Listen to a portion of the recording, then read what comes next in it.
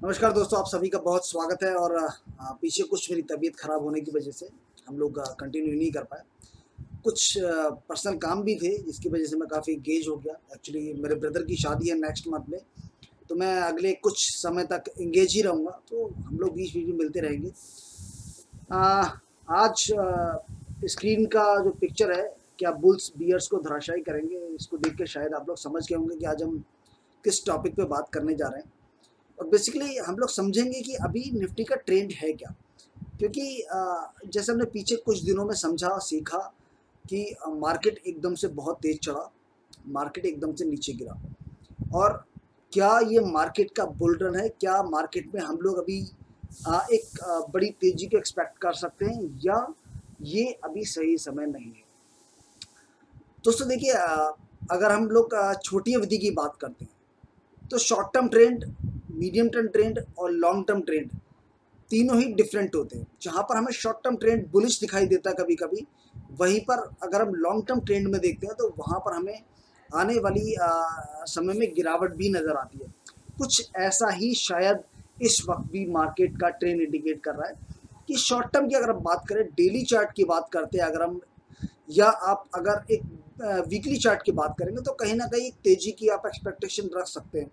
But जहाँ में, मैं, अगर मैं बात करूँ वीकली मंथली चार्ट की क्वार्टरली चार्ट की हाफ़ ईयरली चार्ट की तो मुझे लगता है कि अगर हम लोग एक बड़े बुल रन के लिए रेडी रहना चाहते हैं, अगर हम लोग चाहते हैं मार्केट में एक बहुत बड़ा बुल रन आए, उसके लिए मुझे लगता है कि अभी फ़िलहाल अगले कुछ महीने मार्केट को कंसोलिडेट होना चाहिए। आई डोंट नो कि मार्केट कंसोलिडेट होगा, कितने दिन होगा, मुझे नहीं पता। बट मुझे लगता है कि अगर एक बड़ी तेज़ी, एक लंबे समय में, एक लंबे समय की तेज़ी की अगर हम लोग एक्सपेक्टेशंस रखते हैं तो फ़िलहाल अगर मार्केट यहाँ से तेज़ी शुरू करता है तो वो बहुत ज़्यादा दिन सर्वाइव नहीं करेगी, वो सस्टेन नहीं करेगी।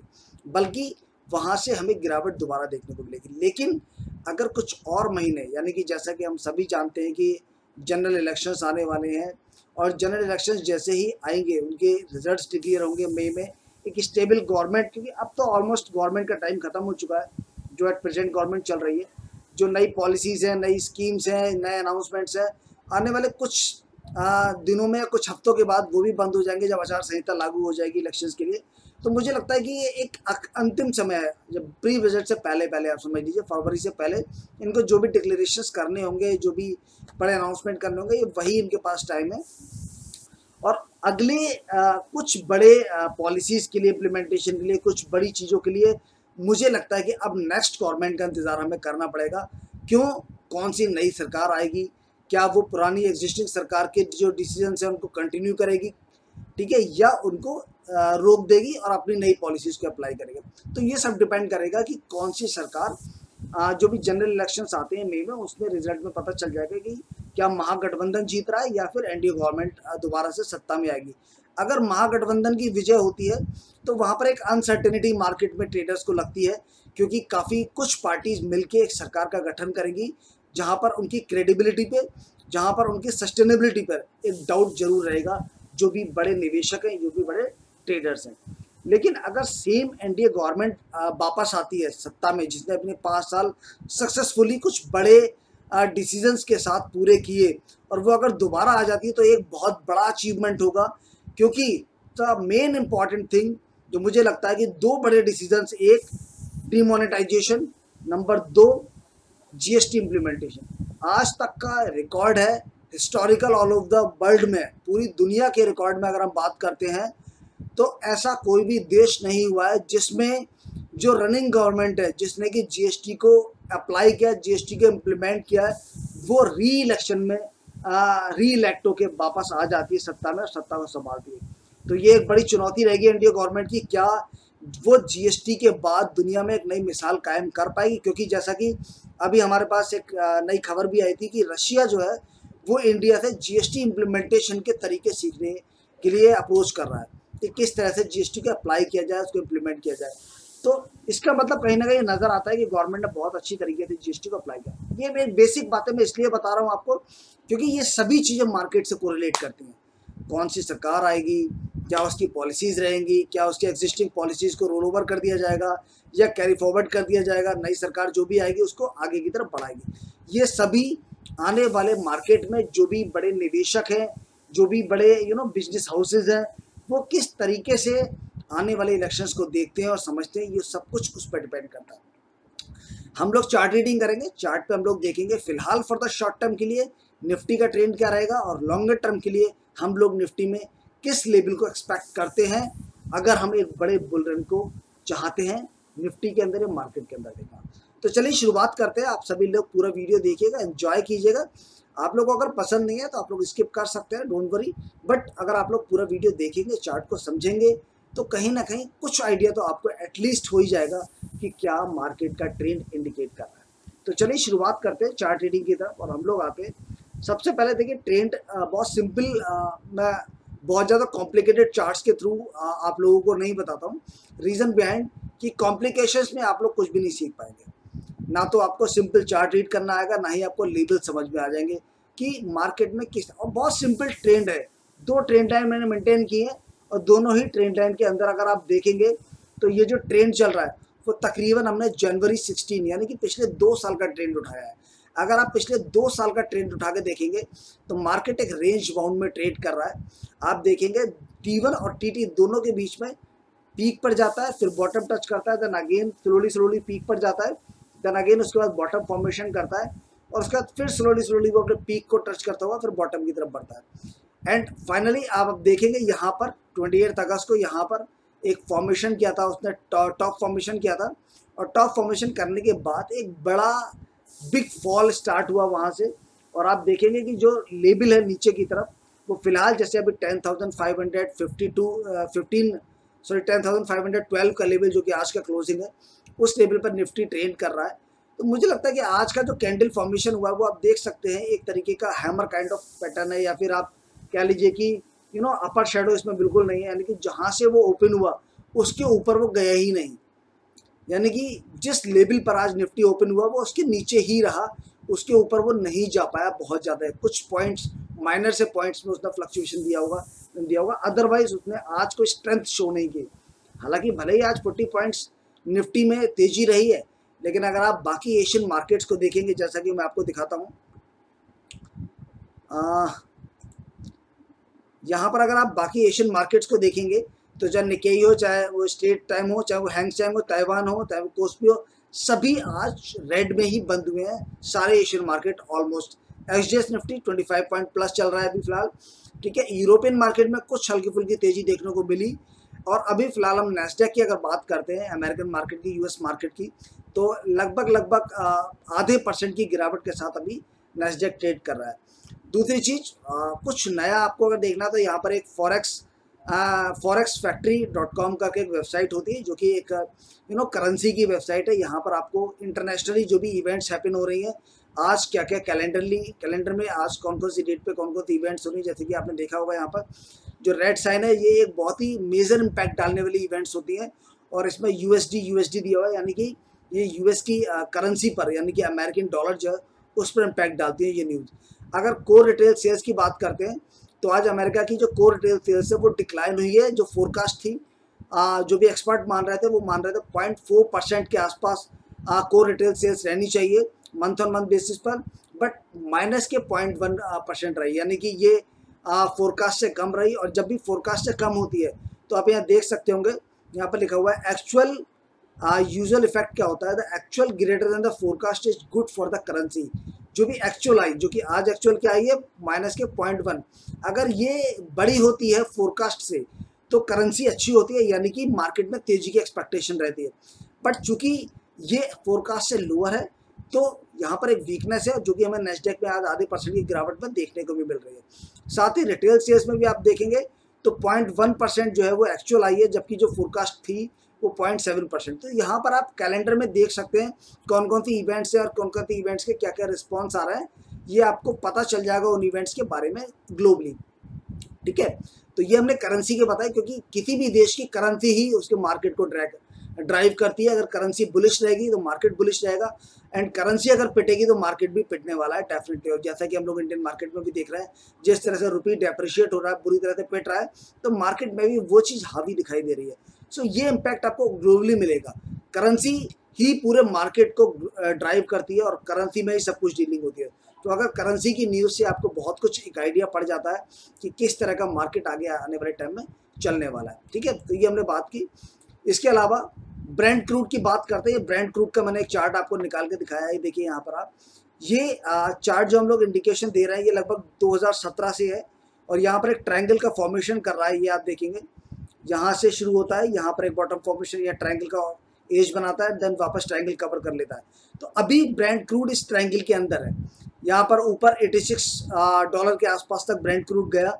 उसके बाद अभी फ़िलहाल लगभग 80.49 के आसपास चल रहा है।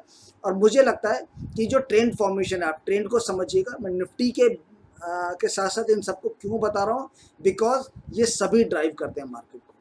ये सब पूरा पूरा ऑल ओवर द वर्ल्ड का मार्केट एक एक छोटी छोटी सी चीज़ पूरे ऑल ओवर द वर्ल्ड में जो भी मार्केट्स होते हैं, वो सभी कोरिलेट करते हैं एक दूसरे से और एक मार्केट का इम्पैक्ट दूसरे पे पड़ता ही पड़ता है। ठीक है? अभी आप देखेंगे, जैसे पीछे ऑयल सेक्टर में कुछ तेज़ी हमें देखने को मिल रही है, जैसे आप हिमाद्री स्पेशलिटी केमिकल्स में देखेंगे एक अच्छी तेज़ी देखने को मिली 111 से लेके और 126 का लेवल है और मुझे लगता है 130 का लेवल भी आने वाले। आ, एक दो दिन में वो अचीव कर सकता है जिस तरह से मार्केट चल रहा है। आ, क्योंकि अभी क्या ब्रांड क्रूड गिर रहा है और जब क्रूड गिरता है अभी आपने देखेंगे जो आ, इवन आ, केसर पेट्रोल की बात करता हूँ तो केसर पेट्रोल में भी एक अच्छी तेज उछाल आई। द रीज़न जब भी क्रूड का प्राइस नीचे आएगा chemical sector oil sector petrochemical sector ये बूस्ट होंगे। बिकॉज़ ये सभी रिवर्स होते हैं। जब भी क्रूड बढ़ेगा केमिकल ऑयल पेट्रोकेमिकल ये सभी गिरेंगे और जब क्रूड गिरेगा तो ये सेक्टर्स बढ़ेंगे। तो ये आप देख लीजिए कि रिवर्स इफ़ेक्ट रहता है इन सेक्टर्स का मार्केट के ऊपर। इवन जो रबर और जो जो सीमेंट सेक्टर है, उनमें भी रिवर्स रहता है। जब क्रूड का प्राइस बढ़ेगा, ठीक है, तब सीमेंट सेक्टर भी वीक रहेगा। और जब क्रूड का प्राइस घटेगा तो सीमेंट सेक्टर भी, क्योंकि उसमें कहीं ना कहीं जो भी आपका फ्राइट वगैरह है, भाड़ा वगैरह है, उसमें काफ़ी चीज़ों का फ़र्क पड़ता है, ठीक है? खैर, वो हम एक लॉन्ग टर्म में आगे कब बात करेंगे डिटेल में। फ़िलहाल मुझे लगता है यहाँ पर स्टॉक को लगभग 80 79 पे एक बेस बनाना चाहिए ब्रांड क्रूड को, अगर ये यहाँ से गिरता है।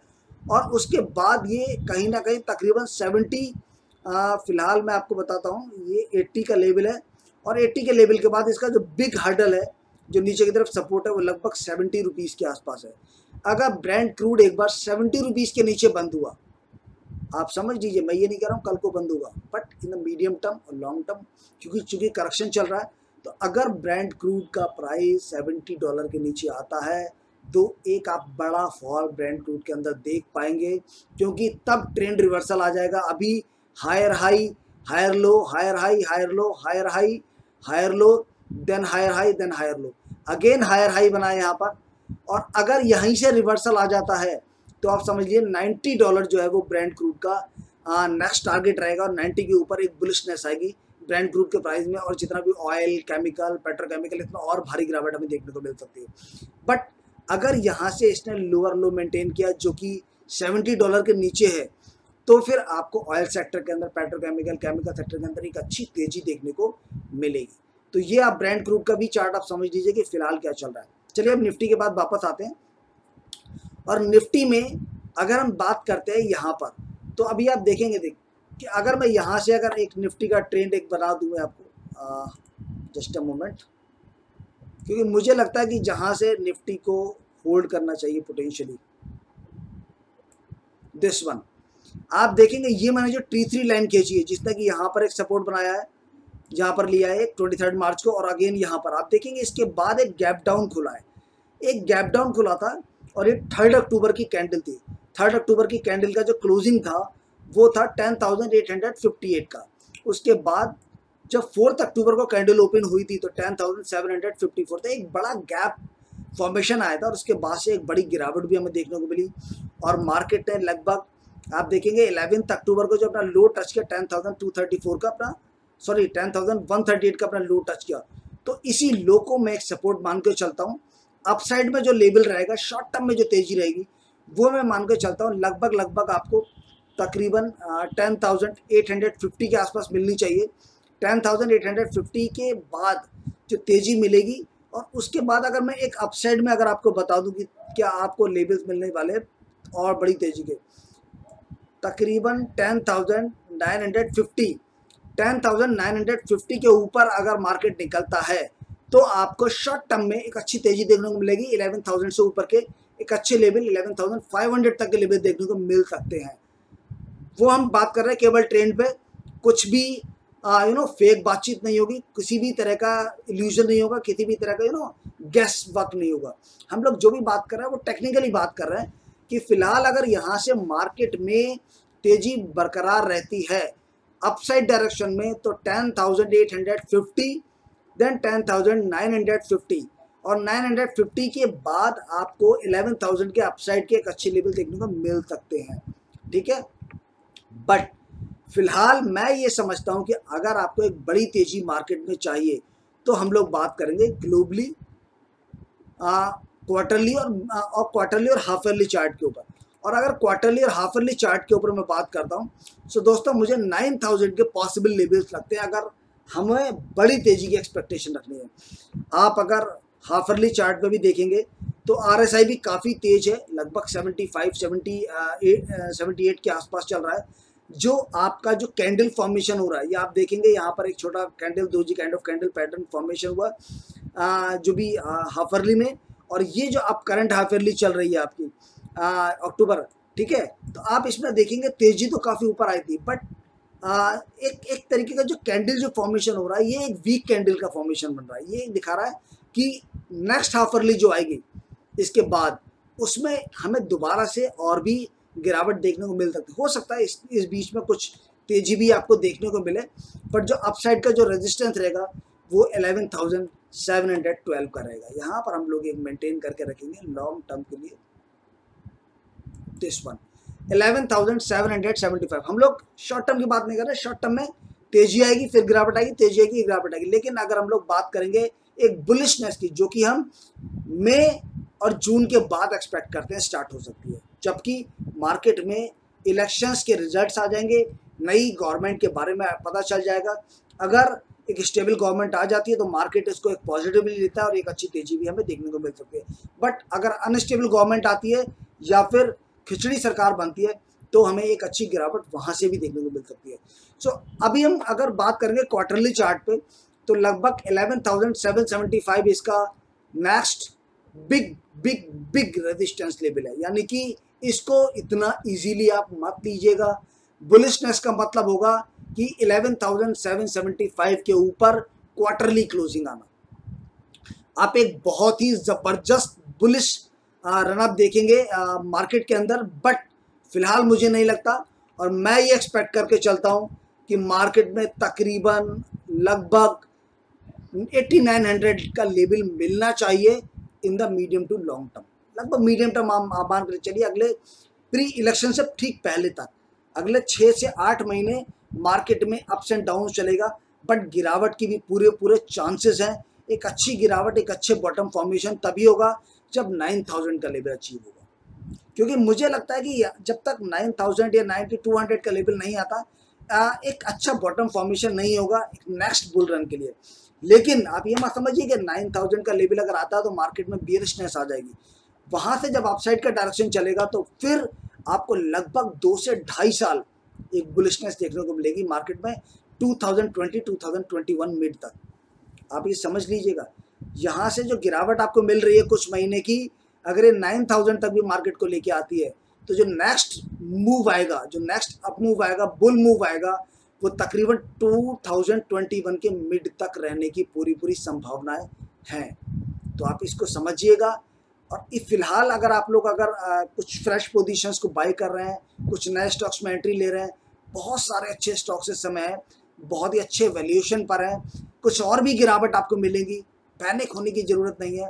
फ़िलहाल पोजीशन को बनाइएगा, छोटी क्वांटिटी के साथ एवरेज कीजिएगा। जब भी आपको पाँच से सात परसेंट का गिरावट मिले, छोटी क्वांटिटी ऐड कीजिए। पोजीशन को होल्ड कीजिए अगले 12 से 18 महीने के लिए। आप बिलीव नहीं कर पाएँगे कि आपका जो इन्वेस्टमेंट है, वो पोटेंशियल रिटर्न आपको देगा एक बुलिश मार्केट के अंदर। यही वो समय होता है। अभी अब डी की बात अगर आप देखेंगे तो जब D H F seven percent crash हुआ था और अभी ये न्यूज़ आई है लेटेस्ट उस वक्त राकेश झुंझुनवाला ने डी के अंदर अपनी होल्डिंग को राइज किया था। तो इन्वेस्टर्स का यही काम होता है। वो डरते नहीं है पैनिक नहीं होते। पैनिक का मतलब है आप मार्केट के अंदर आप कभी भी प्रॉफिट मेकिंग नहीं कर पाएँगे दोस्त। पैनिक तो जनरेट किया जाता है ताकि हम और आप जैसे लोग, जो कि लिमिटेड अमाउंट के साथ खेल रहे हैं, उनका वो लिमिटेड अमाउंट भी चला जाए। बट आप लोग अगर लॉस में है तो वो वर्चुअल लॉस है अभी आपका। एक्चुअल लॉस नहीं है। लोगों की एस्कॉट्स के अंदर होल्डिंग है, लोगों की पीएनबी हाउसिंग के अंदर होल्डिंग है, लोगों की यस बैंक के अंदर होल्डिंग है, लोगों की आईसीआईसी बैंक के अंदर होल्डिंग है चंदा गुच्छर चली गई है, ठीक है? लोगों की बीएमएल के अंदर होल्डिंग आप ये मत समझना कि अगर वो अगर 50 परसेंट डिस्काउंटेड रेट पे हैं फ़िलहाल तो वो कंपनीज़ कल को बंद हो जाएँगी। They are available at the much much better price for you also आप भी यहाँ पर एवरेजिंग डाउन कर सकते हैं। छोटी क्वांटिटी खरीदिए दो शेयर खरीदिए पाँच शेयर खरीदिए दस शेयर खरीदिए बल्क में बाइंग मत कीजिएगा क्योंकि अभी आपको और भी बेहतर लेवल्स आने वाले समय में मिलने की पूरी पूरी संभावना है। सो so, दोस्तों ये हमने बात की निफ्टी के अंदर और फ़िलहाल मुझे नहीं लगता कि बुल्स बियर्स को अभी फ़िलहाल धराशायी करेंगे अगले कुछ महीने में। हाँ बीच बीच में चोट मार सकते हैं बुल्स के लिए लेकिन फ़िलहाल अगले कुछ महीने जो ट्रेडिंग टर्मिनल को एंजॉय करेंगे, वो बियर्स ही एंजॉय करने वाले हैं। और मार्केट में जो नेक्स्ट बुलिशनेस और जो बुल रन आएगा, वो मुझे लगता है नाइन थाउज़ेंड टच करने के बाद ही आना चाहिए, अगर हमें एक बड़ा मूव देखना है। बाकी रेस्ट तो अपनी अपनी एनालिसिस है अपनी अपनी सोच है। कुछ लोगों को मेरी राय से एक मत होंगे, कुछ लोग नहीं होंगे। जो लोग नहीं हैं वो लोग मेरे साथ शेयर कर सकते हैं अपने थॉट प्रोसेस को, अपने एनालिसिस को, या अपने विचार को, और जो लोग सहमत हैं, वो लोग याद रखें कि आप लोग छोटी छोटी क्वांटिटीज़ को हर पाँच से दस परसेंट की गिरावट में, जो भी आपको आपके प्राइस जो भी आपकी होल्डिंग प्राइस है, जो भी आपको स्टॉक्स हैं होल्डिंग किए हुए हैं आपने, जब भी पाँच परसेंट दस परसेंट की गिरावट अगर उनमें आती है, तीन परसेंट की भी गिरावट आती है तो आप डरिएगा मत पैनिक मत होइए। अगले कुछ महीने ज़रूर पैनिक वाले हैं, लेकिन मई, जून नेक्स्ट ईयर 2019 के बाद आपको एक अच्छी ज़बरदस्त रैली भी देखने को मिलेगी। बस मार्केट में, देश में एक स्टेबल गवर्नमेंट आने की देरी है। तो दोस्तों, अगले वीडियो में हम लोग फिर कुछ नए टॉपिक पे बात करेंगे। फ़िलहाल तो आज हम लोग काफ़ी दिनों के बाद लौटे थे तो हमने कहा पहले क्यों ना मार्केट के बारे में डिस्कस करते हैं। स्टॉक के बारे में मैं आपको डेफिनेटली बताऊँगा। जो लोग हमारे साथ अभी तक जुड़े नहीं हैं या जिन लोगों ने अभी तक सब्सक्राइब नहीं किया, उनसे यही कहूँगा, दोस्तों आप सब्सक्राइब ज़रूर कर लीजिए क्योंकि उसमें आपका पैसा नहीं जाता सब्सक्राइब करने में।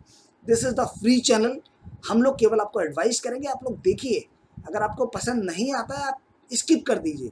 लेकिन हो सकता है कि कभी कुछ ऐसा इंपॉर्टेंट आपके लिए हम लोग डाल दें कि वो आपको किसी भी बड़े ट्रैप से बचा दें। तो जहाँ पर आपका कुछ जा नहीं रहा है, वहाँ पर आपको सब्सक्राइब करने में कोई नुकसान नहीं हो रहा है। तो आपको सब्सक्राइब करना चाहिए, ज़्यादा से ज़्यादा लाइक करना चाहिए, जिससे हम लोग भी मोटिवेट हों और आपके लिए कुछ अच्छा नया पोटेंशियल कुछ ना कुछ एमर्जिंग लेके आते रहे। जल्दी मिलेंगे अगले वीडियो में, तब तक के लिए आप लोग अपना ध्यान रखिएगा, अपने पैसों को बहुत सेफ्टी के साथ, बिना डरे, बिना पैनिक मोड में आए हुए इन्वेस्टमेंट के लिए लगाए रहिएगा। अगले कुछ महीने ज़रूर पैनिक है, लेकिन लाइफ यही ख़त्म नहीं हुई है दोस्तों। अभी तो शुरुआत है मार्केट की। जब मार्केट आपको तेज़ी दिखाना शुरू करेगा, उस वक्त आप नहीं खरीद पाएँगे। तब अगर आप खरीदने की कोशिश करेंगे तो आप हाई रेट पे खरीदेंगे। अगेन अगेन रिपीटिंग हमेशा याद रखिए, गिरावट पे हमेशा खरीदा जाता है, तेज़ी पे हमेशा निकला जाता है। So this is the best time for the investment और मुझे लगता है कि इससे सुनहरा मौका आपको शायद अब के बाद फिर आने वाले कई सालों तक ना मिले। इस अवसर का फ़ायदा उठाइए, जुड़िए हमारे साथ। और जो भी हम, आपके पास टिप्स हैं, वो हमारे साथ शेयर करते रहिए और हमें बताते रहिए कि क्या हम सुधार कर सकते हैं। तो जल्दी मुलाकात होगी, तब तक के लिए आप लोग अपना ध्यान रखिएगा और हमें आशीर्वाद देते रहिए ताकि हम भी आगे बढ़ते हैं thank you friends thank you very much